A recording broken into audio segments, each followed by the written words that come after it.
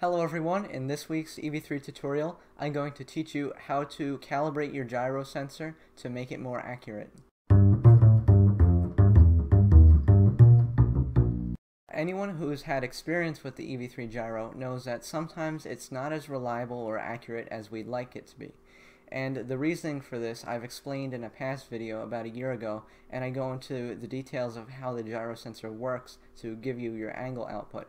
However, there are many things that we can be doing to make a gyro sensor like the LEGO gyro more accurate, and that's what I'm going to be discussing in this video today. And of course, this video will be especially useful for FLL teams who want to use the EV3 gyro for their FLL robot, because of course in a competition like this, you want it to be as accurate as possible. So, my first piece of advice for improving the gyro's reliability is when you first power on your EV3 brick, set it down on the table, press the button to power it on, and don't touch it. Leave the EV3 brick stationary for the entire duration of the EV3 startup. And this is important to do because when you first turn on the EV3, that initial startup is when your gyro is initializing itself. It's going to um, do all kinds of initialization routines like resetting and recalibrating itself and calculate how much drift it should expect to get. And if you're moving the gyro around while it's doing this process, while the EV3 is starting up, you're not going to get any kind of reliability out of your gyro at all because it's it needs to be set stationary. And if it's moving when it thinks it's stationary of course how, how's it going to think it's stationary if it's moving? You're asking for all kinds of inaccuracy and drift and unreliability issues. So the first piece of advice is when you're turning your EV3 brick on leave the EV3 brick and the attached gyro stationary until the EV3 brick completes its startup. My second piece of advice for improving the EV3 gyro's accuracy is don't ever hot plug the gyro. Now what hot plugging is, is when while the EV3 brick is running, you unplug the gyro sensor and then plug it back in again. And this can pretty much go for any sensor, but the gyro is especially crucial. Now, I've been one of those whippersnappers in the past where I got impatient and I would unplug the gyro and plug it back in. I'm sure we've all done it. Um, just avoid doing it in the future because there's no way you can really uh, expect to get consistent results, especially when you're kind of rushing the sensor's initialization uh, with the EV3 running. And in addition, if you're plugging in a sensor uh, while the robot is running, you might shake the robot a little bit as it's being plugged in, and that goes back to my first point where the gyro needs to be completely stationary when it's first powered on. So definitely hot plugging, which is uh, unplugging and then plugging the gyro back in while the EV3 is running, is something you should avoid doing. My third piece of advice is to recalibrate your gyro sensor at the beginning of one of your programs. With the EV3 programming software open, I can now show you how to recalibrate your gyro. Now, I know it's tempting to think this gyro reset block, um, since it's named reset recalibrates the gyro, but it's not. Just as it's named, the reset block resets the gyro but there's a difference between recalibrating and resetting, and I'll explain what that is right now. When you reset a gyro, what you're doing, the only thing you're doing is taking whatever the current position is and setting that as the new zero position.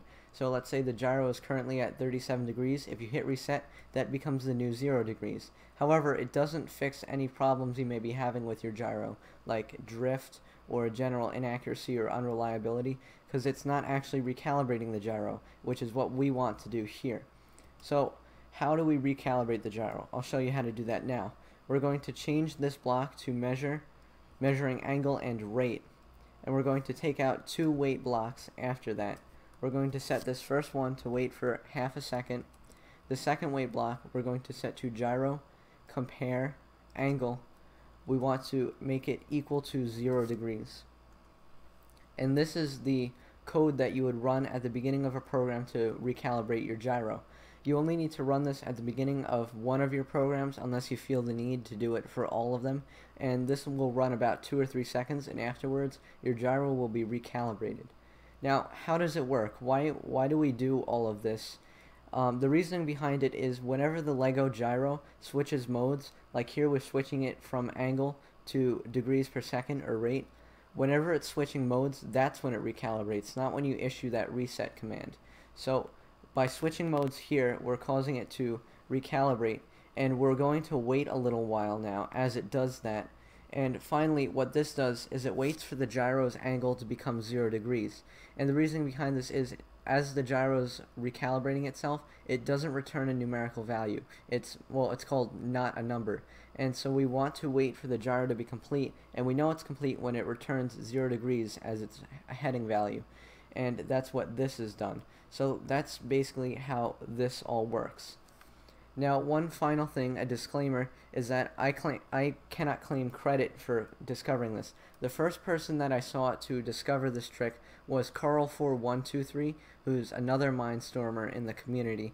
Um, you can find him on the, the LEGO community, and he pointed this trick out, and I used it on my Kemosabe robot because he made a post about it, and I found it uh, decreased gyro drift. Most recently, I've seen team number 27 uh, Republic of Pi and their coach Patrick used this. This was actually part of the programming that they shared with me and allowed me to make tutorials on so I can share with you.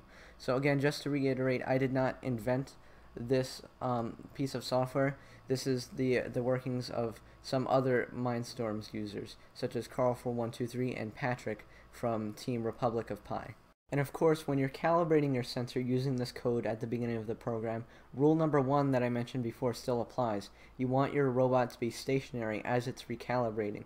Otherwise, as I mentioned before, it's going to mess up the calibration and then your gyro is going to have a lot of reliability issues. So just keep that in mind. Keep the gyro stationary when this is running.